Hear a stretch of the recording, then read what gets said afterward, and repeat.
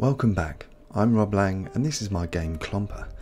You live inside a mechanical ladybird called a Clomper, which you can control by laying pipes to power machines with steam. The outside world is a hellscape that you explore from inside the Clomper, picking up resources and completing quests. If that sounds like fun, like and subscribe for more. In the last video, I asked you, the viewers, to choose Clomper's next feature, either inventory or environment. I was all ready to work on inventory, and you said environment. I was surprised, but you were right, so I got stuck in. Clomper uses exploration to give meaning to the pipe puzzling core mechanic. The environment is the place you explore. Navigating the Clomper is not easy. The Clomper doesn't move accurately as it depends on you controlling the amount of steam going into each leg, and the map is a coarse grained view of the surrounding area, but intentionally low on detail. For that, you need the periscope, which is a limited view and you can't be looking through it at the same time as you're looking at the map. If you're playing alone, you will wear a groove in the floor between the map and periscope. The clomper doesn't move quickly, but things can go wrong pretty fast if you're not concentrating. With some pipe layout experimentation and practice, you can become quite adept at driving the clomper around, so I wanted the environment to offer challenges too. Handcrafting a map is usually the best option. It's quicker to make, easier to add creative flourishes, simpler to code, and easier to test. However, I wanted to enjoy playing the game with my friends, and I couldn't do that if I knew the map inside out. I chose the wave function collapse algorithm to procedurally generate my environment from a tile set. The tiles I created in Blender as a single model and then cut them up into separate meshes in code. Explanation of the algorithm and the cutting up in the card in the top right. When I first created the algorithm in October 2020, I did the simplest thing that worked. Each tile was made at runtime by taking an empty game object, adding a mesh filter with the tile mesh, and a mesh renderer with a standard material. The drawback with making game objects with simple meshes at runtime is that the tiles could be nothing more than just a mesh on a game object. No interactivity, no particles or clever systems, just this. I could have added interesting features programmatically, but that would have been slow and complicated. Instead, I wanted to use the tools of the Unity editor to design the tiles, but still using a single Blender model. This would keep my workflow between Blender and Unity slick.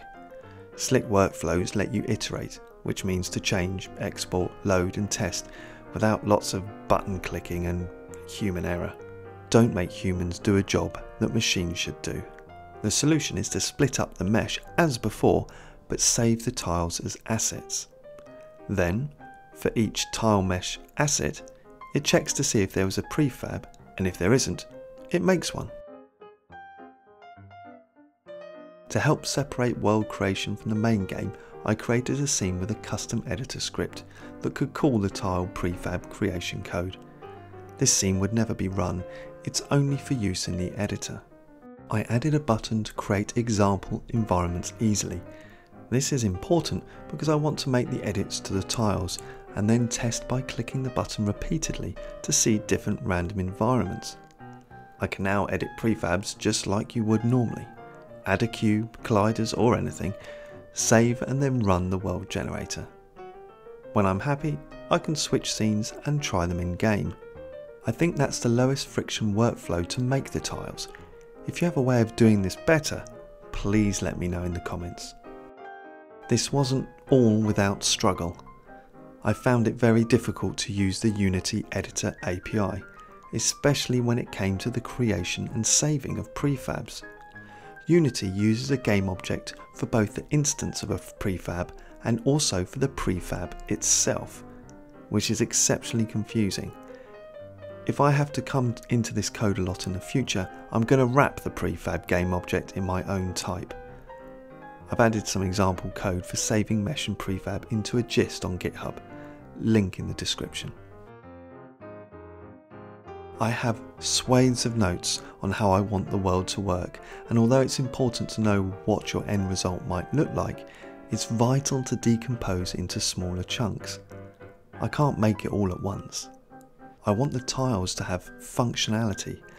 I almost think of navigation of Clomper less like a submarine crawling across oceans, but a mechanical ladybird clomping across a landscape that would not be out of place in a platformer. I drew out some platformer tropes and chose to begin with the most obvious the crevasse. It's just the hole in the ground you have to avoid or jump over. I'm delighted to say that adding the crevasse models was easy. I modelled and imported into prefabs using my new builder.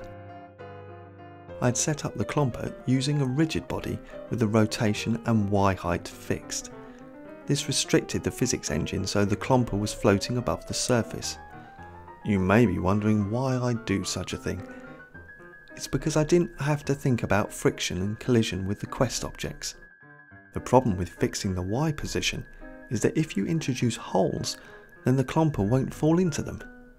So I turned that off and increased the collider so the clomper was sliding across the floor. When two things slide across each other, they are affected by two kinds of friction. Static friction is a force that means you need more force to get you moving.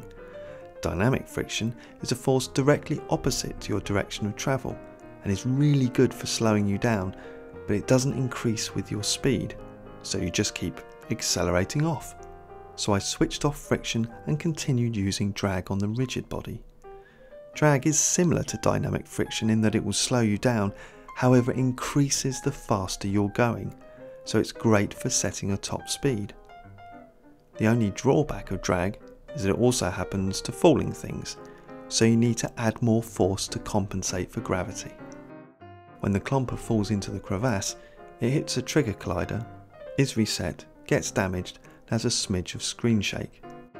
The map shows the crevasses as sunken dark hexes which, thanks to Casual Dutchman's feedback on Twitter, fade satisfyingly.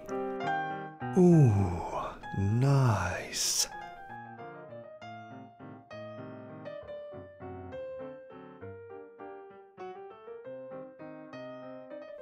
Thank you for getting to the end of the video. I've got a couple more things to talk about.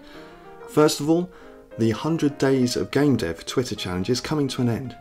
And I found it fun, but I don't think it's helped my motivation any because my productivity is based entirely around habits and not sharing with others. It has been fun sharing videos of Clomper over the past few months, but I don't think I'll do it quite as obsessively as I have done. I'll still share to Twitter, but not quite as much. You may have noticed below this video that I have now passed 1000 subs and I'm delighted. So welcome to all the new subs, thank you for joining us and to all the old ones, hello to you too. I hope it doesn't hurt too much. It's good to see you. You know who you are. To celebrate, I'm going to do a very fitting Q&A video, but with a twist. So, please ask your questions down in the comments below. You can ask me anything about Clomper or why I'm still doing this or how I do it, having two kids, a wife, and a family. So please do ask below.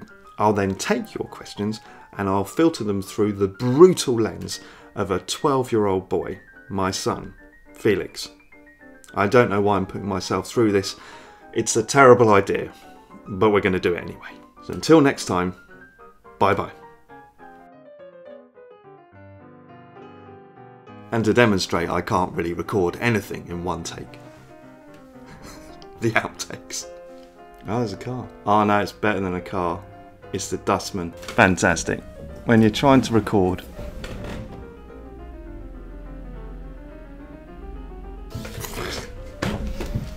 Let's see if I can do this before they come back. I'm in a cul-de-sac, so they've got to reverse all the way down the road and then come all the way back again. And they're quite loud they're coming quite quickly. Like, but I'm just I'm just gonna have to stop and then start again. Thank you for sticking by me. I'm sure the therapy isn't too expensive. There's a car. You know who you are. Why is my bit? There's another car. You know who you are. I don't know why I'm putting myself through this. It's a terrible idea. But we'll do it anyway. But what?